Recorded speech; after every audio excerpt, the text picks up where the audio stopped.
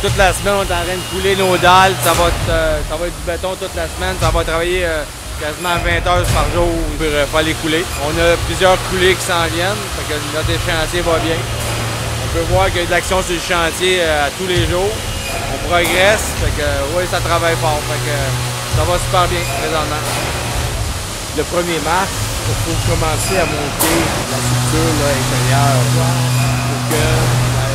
il y a beaucoup d'ouvrages dans les salles mécaniques à faire, l'équipement, la machinerie, de la machinerie extérieure.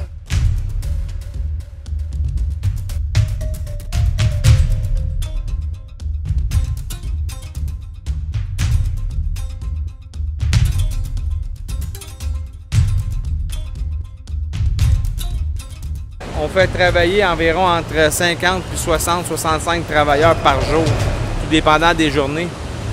On crée de l'emploi en même temps, ça, ça roule, l'économie. Les restaurants dans le coin, les travailleurs commandent beaucoup de restaurants.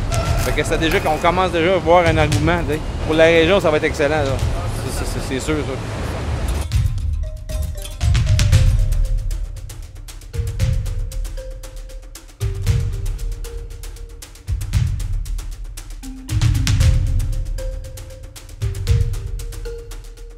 On devrait finaliser ça, le, le- projet pour l'ouverture, on doit être en, mesure de finir pour les, vacances de construction. Comme prévu. À date, notre échéancier est en ligne de mer. Si tu vois tout l'ensemble du chantier présentement, il il y, a des garde-fous qui ont été installés. Les travailleurs puissent travailler au deuxième étage. On a eu des rapports de CSST qui viennent régulièrement, puis on n'a jamais de dérogation, tout est beau, tout est parfait. Ça prouve qu'on prend euh, du sérieux dans la construction de cet amphithéâtre-là. Juste ça, en prêt de sécurité, ils n'hésitent pas sur sécurité. C'est au-dessus de 10 000 juste pour l'installation, puis euh, le bois qu'on a en entour pour protéger les travailleurs. Il faut toujours, c'est beau bâtir quelque chose de beau ou de gros, mais il faut toujours penser qu'on a des travailleurs, puis il faut faire attention aux autres.